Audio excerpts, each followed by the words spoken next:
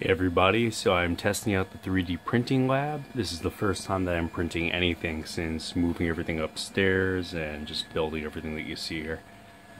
So, I'm printing pot holders, flower pot holders for the summer. And they're to be like very zen. So one is like this light colored gray, and then one is to be like a solid black. You can see the base first layer printing out. So real quick, just want you to check this out. I put in some smart lighting and just a couple of different cool commands. Amazon, turn on monoprice lights. Okay. So the way that I have this set up is I have IP cameras. So this angle, I can't quite get the exact angle, but it would be like that. Let me see if I can, nah, I can't get in there. Basically, I can check that from anywhere in the world with internet. And here, same kind of deal. So even if it was pitch black, and these are also infrared cameras, so I can check on my work.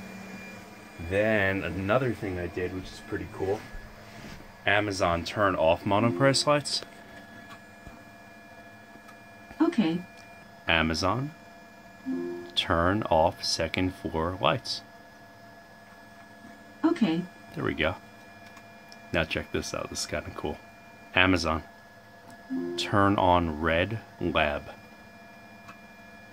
Okay.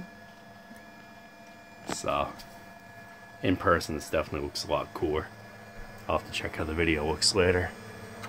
But, red accent LED lights.